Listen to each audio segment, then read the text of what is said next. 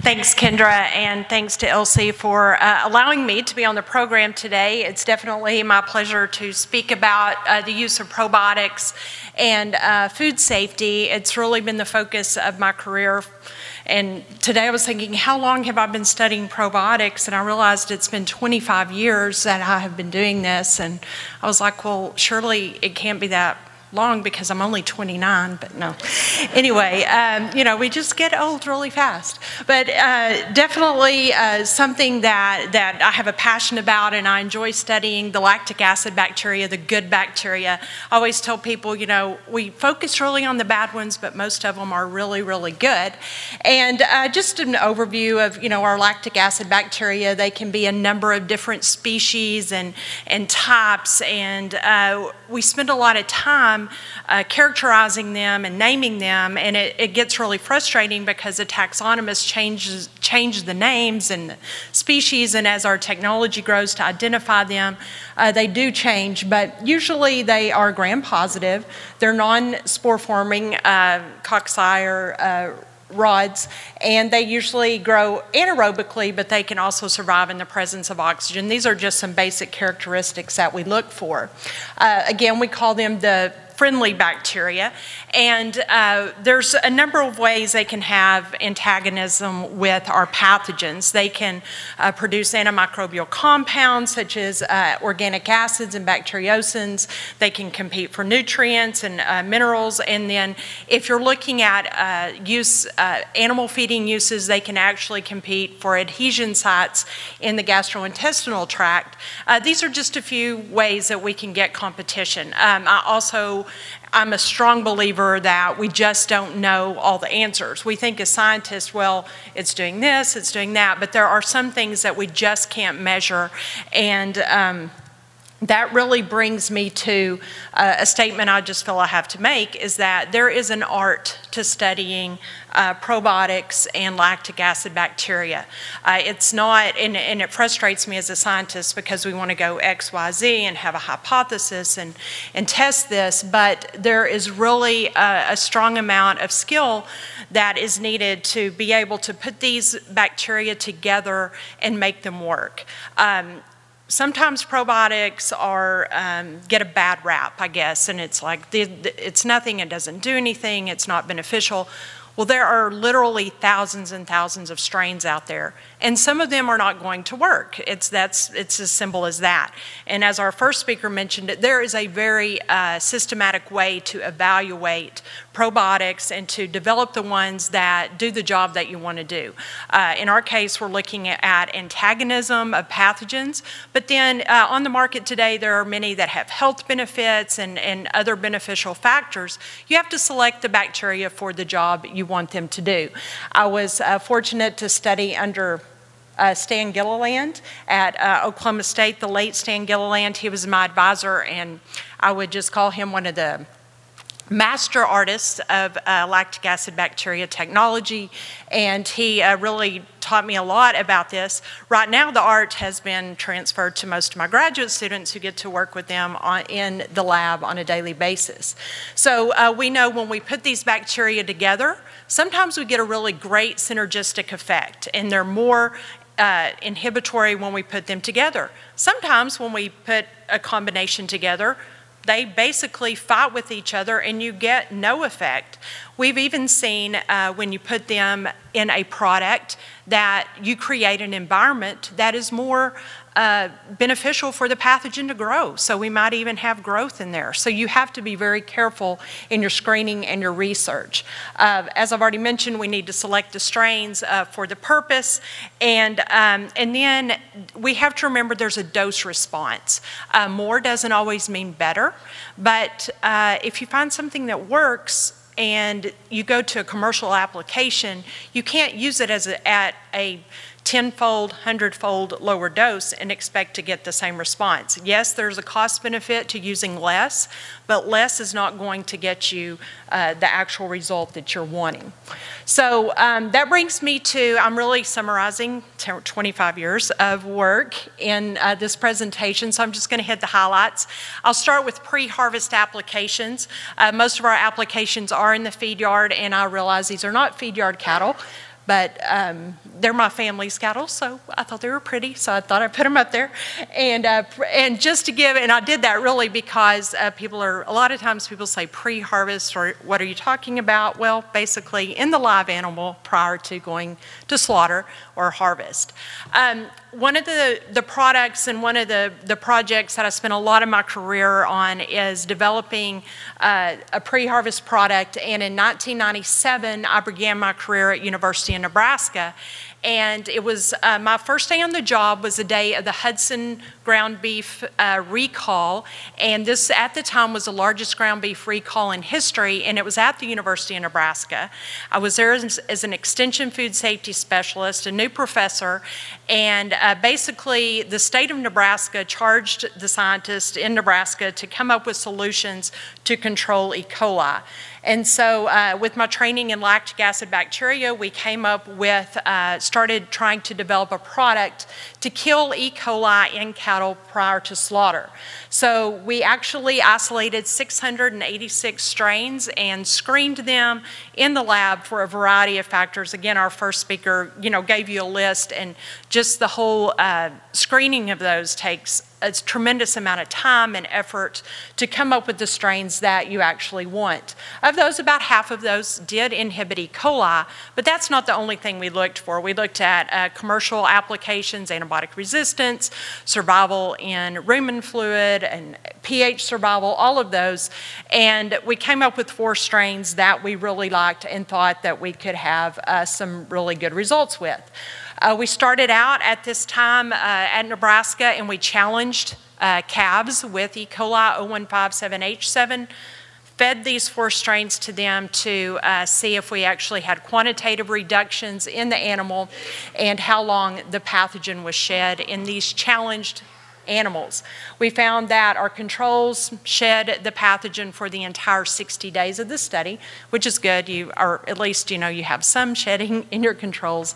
And our treatments only shed the pathogen for three to seven days, and we actually had a three to five log reduction in the total uh, quantitative amount in the ones that were shedding. So we, we came to the conclusion, okay, hey, this might work, and we scaled this up to commercial studies. Uh, at that time, I actually moved to Texas Tech between this study and our first uh, large-scale feedlot studies, and through a series of evaluation of these four cultures, we came up with one one that was really the best that could be produced commercially. And over the years, um, in 2001 and then 2002 and 3 and 4, we actually uh, developed these, tested these in a feed, feedlot environment. Um, our red bar represents our, uh, our untreated animals, and these are in, like I said, commercial settings. These animals were not challenged. These were naturally occurring E. coli 0157H7 uh, strains that we found in our animals. And in general, over the years, about 50% reduction in the, the amount, which to me, that uh, animal going into the packing plant is going to reduce the risk. We're not eliminating it. Uh, as we've said, it's no silver there's no silver bullet to eliminate these pathogens, but this becomes the first step in the hurdle of the animal actually going to harvest. Uh, I think at the, uh, well, I'll go ahead to go to the next slide. We also looked at the quantitative reductions and we had about, um, you know, a two log reduction in the animals that did test positive. So not only were we, were we, were we reducing prevalence, we were reducing concentration of the pathogen in the positive samples. Uh, to date, the last time I counted, there's been about 47 different studies done uh, with this particular strain, uh, NP51. It is commercially available and it has a widespread adoption in the, the cattle industry. And we uh, consistently, we have done meta-analysis. We get about a 50 to 60% reduction in the animal and on the hides prior to harvest. Now, That brought us to 2012, where we did a study. Uh, at this time, we were doing a lot of work on salmonella prevalence in lymph nodes. And in the lymph nodes, we knew that salmonella was carried uh, and causing issues in ground beef. And, uh, and so we wanted to see if this might reduce pathogen prevalence in the lymph nodes. We had a large pen study uh, in a, so this first uh, bar shows us a large pen results. We had about a 25% reduction of salmonella, but still you can see our lymph node prevalence was very high. And then our small pen study with cattle housed at our university feed yard, we had um, an 84% reduction in our uh, prevalence. So there is some indication that we can have salmonella reduction in those lymph nodes.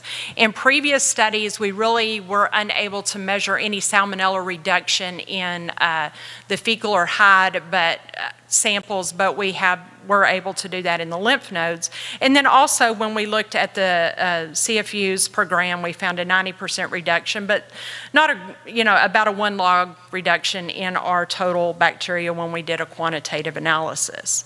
So to summarize that work, uh, really uh, feeding, and like I said, there's a dose response. So uh, feeding the 10 to the 9 per head per day of animals uh, consistently reduced STEC 0157H7 in the feces and hides. Uh, we also saw reductions in our concentration and reduction in uh, lymph nodes. Uh, as I already mentioned, we had, did not measure salmonella reduction in our feces and hides. And in all of these studies, we measured performance, uh, you know, meat quality, all of those things. There was no detrimental impact on performance of the animals and their growth and uh, the gain, weight gain, and, and all feed conversion, all of those things. Uh, and in some cases, we actually had improvements in that. With this process of developing this product, uh, we learned a lot. And I worked very closely with Dr. Guy Loneragan at Texas Tech, and we were like, okay, we learned this from the development of the first product. Now it's time to really to go to the next generation of probiotics. And uh, we took what we learned in developing this first one and, in testing it and we have uh, been working on a new next generation probiotic. And what we uh, really focused on was uh, number one, the, the dosing, so co the cost of the product, so we could feed it at lower doses, the efficacy against other pathogens, the impact on antibiotic resistance, uh, the ability to uh, detect it and verify that it was actually being fed at the concentrations it was being fed at. So um, we used our method again to systematically isolate different strains of lactic acid bacteria and uh, came up, I think we had about 300, close to 300 this time, and did lab screening against various pathogens in lab media. And the, we found one that we really liked, we call it L28. And you can see uh, after 24 hours, so this is growth, so it, we had really high growth in here, or high numbers, but this was after 24 hours of growth. We had very significant reductions of salmonella, E. coli 0157H7, and then uh, actually elimination of listeria. So we really had a multi-species uh, inhibition with this particular strain. And with that, uh, we have done a cattle feeding study. We wrapped this up in the, the spring of this year. And so we not only wanted to look at the pathogen reduction, we also wanted to look at using this to replace tylosin in the diet of cattle. Tylosin is fed to improve performance characteristics in the animal, and uh, you know if you took it out of the diet, what was going to happen? It is actually uh, right now it cannot be used unless it's prescribed now as a low dose antibiotic in cattle feeding systems. So we replaced the tylosin with the L28 to see what happened, basically. So we had three treatments. We had uh, one with no uh, DFM or probiotic, and uh, it had no subtherapeutic antibiotics and no ionophores. This was our control. Then we had one with uh, monensin, uh, which is now ionophore, uh, tylosin, which was our Monti uh, combination, and then we had our Monpro combination, which was our probiotic, and we replaced the tylosin with the uh, L28 strain. So, uh, if looking at the fecal pathogen prevalence, you can see that in our controls, we had about 35% positive salmonella. In our, uh, mon, our Tylosin monensin treatment, 25%, and then we had 15% in our uh, samples with our probiotics. So we had about a 50% reduction. With E. coli 0157H7, we had 20% positive in our controls. With the uh, monensin and tylosin treatment, 10%, and we had no positive samples in our probiotic treatment. So we found a positive impact on the pathogen prevalence. We then took our uh, enterococcus isolates and looked for multi-drug resistance. Multi-drug resistance defined as three or more antibiotics. And uh, our controls, we had our, our, our monensin tylosin, which had both the ionophore and the tylosin, so really two subtherapeutic antibiotics. We had almost 70% of our isolates uh, had, or 70% of our uh, enterococcus isolates were multi-drug resistant. Our controls, which had no subtherapeutic antibiotics, they had about 28% uh, resistance in this case. And then our uh, monensin probiotic treatment was around 48%. So we had some reduction, and it was somewhere between the no subtherapeutic antibiotic treatment and then the full subtherapeutic antibiotic treatment. We also looked at generic E. coli as an indicator of gram negatives, and in this case, we actually found that our control, uh, which had no subtherapeutic antibiotics, and our probiotic treatments were similar in the multi-drug resistance. Uh, with regard to uh, alleviating that, there is this gives us some evidence. We, we're doing further studies on this, but that we can maybe have some mitigation of that uh, emergence of resistance with this particular uh, probiotic.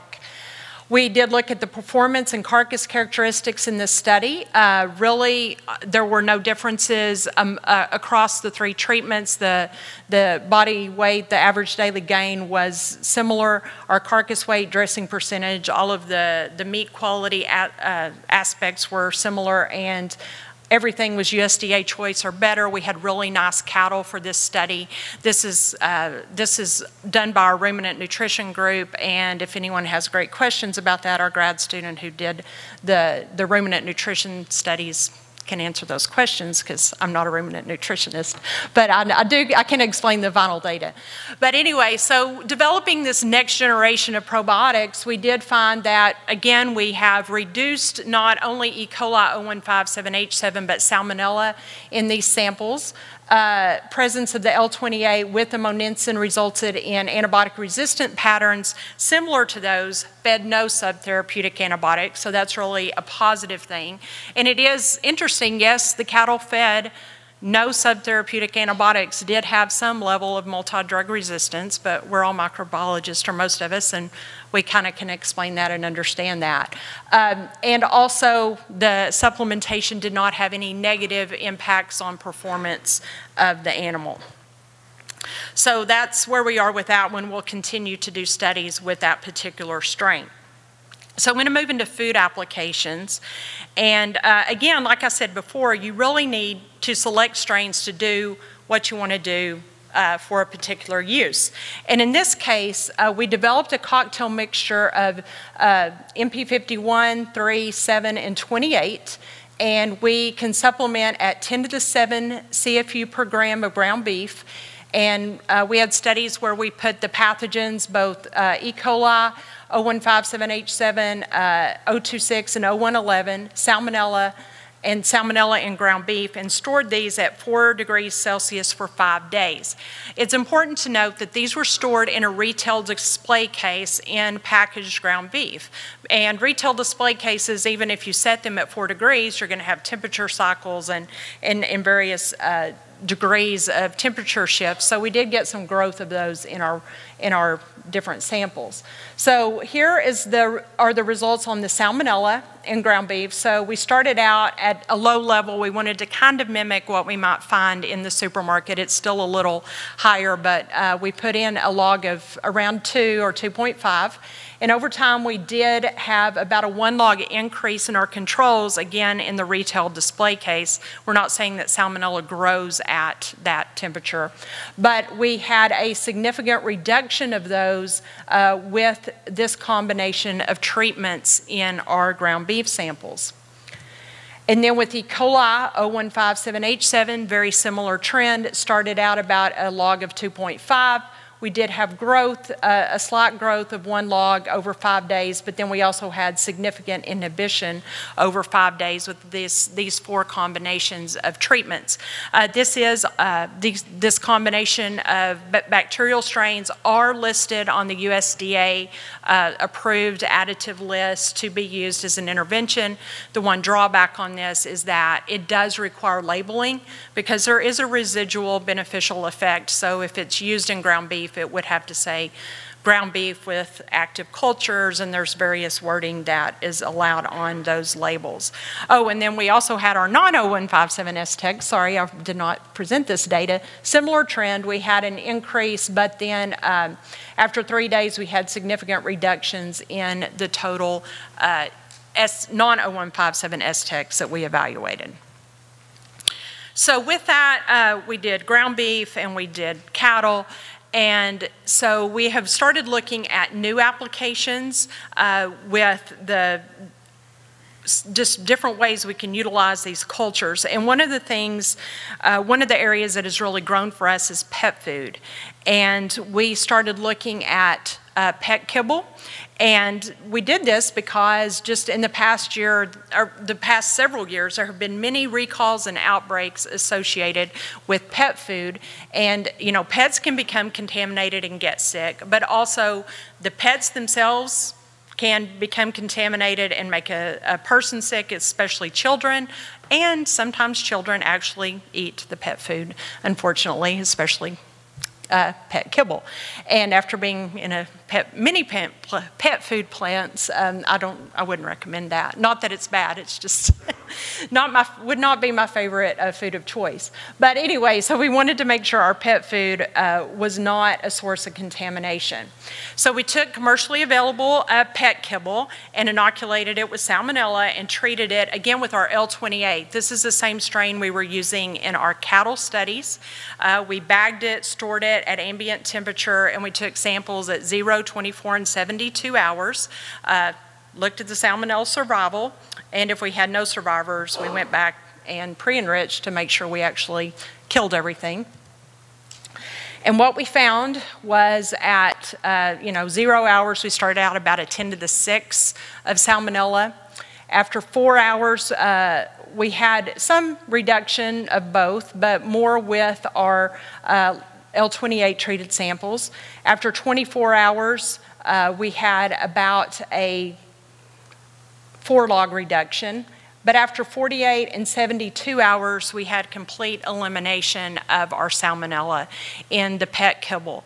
This was again confirmed by culturing, pre enriching to make sure we did not have any low level survivors in the product. So, very effective in the pet kibble. Uh, we then moved on to uh, if you recall, we had really good results with our listeria, and we had some concern with our uh, stainless steel, or, or, we wanted to see if this would work in stainless steel to reduce listeria in biofilms. So we did a study and put, uh, basically took stainless steel coupons, inoculated at seven logs, and what we found was that, and we evaluated this against a commercially available strain, the FS56, and then our L28, and we found that after 24 hours, again, we had elimination of our listeria in stainless steel. And last of all, um, we're looking at chicken fat. Chicken fat is a rendered product, and with FSMA laws, this has been a big problem in many uh, many rendering operations. We again inoculated it and added our L28. And we found that after three days, we had a seven log reduction in chicken fat. So there is really um, multiple applications of these different probiotic strains. I want to say uh, in cautioning, uh, not one probiotic can do everything. I talked about many different strains. You have to select those uh, against, you have to make sure you carefully select and develop strains to get the desired results. Some products do not work. Uh, make sure that if you're doing some in-plant studies, you have to be very careful at interpreting results. Uh, whenever you're working with probiotics, you have to be sure that in your broth media that you're evaluating that the inhibition isn't happening in the media, that it's actually happening in the product or the animal because you're actually isolating not only the pathogen, but also the added probiotics. So you want to make sure the results you get are actually accurate. So be just work with qualified microbiologists if you're ever evaluating probiotics. So um, in conclusion, probiotics aren't a new technology. They've been around a long time, but some of the applications are new and uh, can be optimized for very specific needs.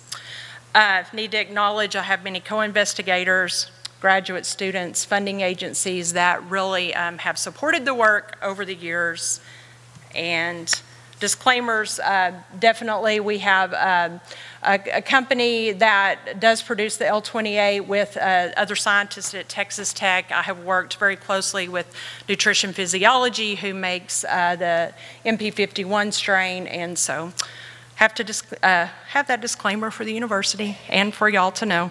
So with that, I will take any questions.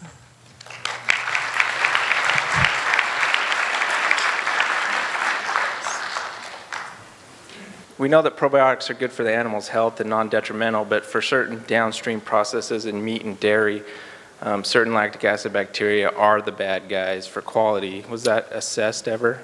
Yes, uh, absolutely. And uh, specifically with the combination of four strains that we put in ground beef, we uh, selected those strains that produce the antimicrobial properties but did not grow at refrigeration temperatures. So we made sure that it wasn't causing a spoilage problem. With all of these studies, uh, we have done long-term studies with uh, the product quality, the spoilage, the shelf life, and all of those things. There just simply wasn't time to present those data. But I'd be happy to, if you want to email me, I can provide some of that information for you. But you're absolutely right. They can create a problem with spoilage. That was pretty much my question. I was going to ask if it affected the flavor or appearance of anything that you. Uh, yeah, that's uh, that was one of the characteristics we evaluated. Uh, even with the pet food, we've done uh, dog food feeding trials where we had made sure that the dogs did not affect the flavor or the the acceptability of the dog food. So, did you look um, at mechanism uh, any, uh, you know, what exactly these strains are doing that's different from other lactic acid bacteria? We have done a very basic amount of mechanism work. Uh, obviously, pH, we get uh, the L28 produces a pH, low pH very rapidly within six hours compared to um, other cultures which may take 12 to 18 hours to get the same pH. We know there are some uh, bacteriocin-like substances, but we have not done a great amount of work on determining the exact mechanism. For your stainless steel uh, coupon study, how was the L28 applied to the coupons? Uh, it was simply uh, dipped onto the coupons. After first, we attached the listeria, and we had a method to form the biofilms on that. And then it was it was actually no, that's not correct. We put them in wells. And the in the wells, we added the L28 to the wells and let it kind of grow together uh, with the stainless steel. So it was in constant contact. It wasn't just like sprayed on. No, it was not. Not in this case. And yeah. what what's the pH of the L28? It will go down to, I believe, 3, 3.2 or so. David, do you know the exact pH? He's 3.5, so yeah. Okay, thank you.